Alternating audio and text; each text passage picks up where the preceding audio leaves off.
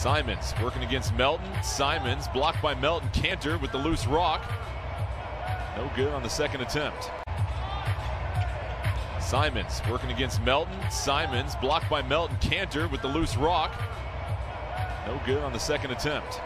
A unique combination of an elite three-point shooter and a slam dunk champion. Kanter 12 points, 7 rebounds last game. It's Really bolstering this Blazer bench they prepare for this stretch run of the season. That was the hope going back to the start of this season. Valanciunas pounds it. Blazers slap away at it. Valanciunas really wanted to whistle. Pristine running form, Lamar. The arms punch, pumping at 90 degrees, dorsiflexion of the ankle. And then here it is.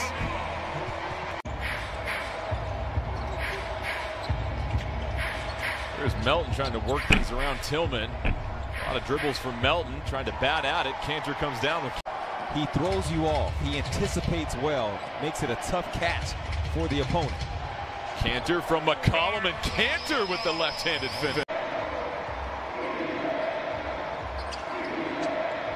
Winslow, the jumper, it's off. Blazers control. The Blazers just one of seven from outside. The Grizzlies three of four.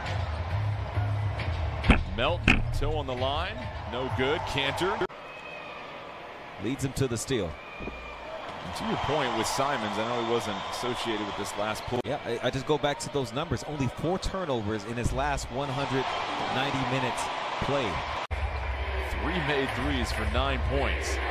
And the Blazer defense active again. Another stop. They collapsed and took away the passing angle. And Lillard rise up off the bench and head to the scorer's table. Winslow, tough angle, can't get it with the left.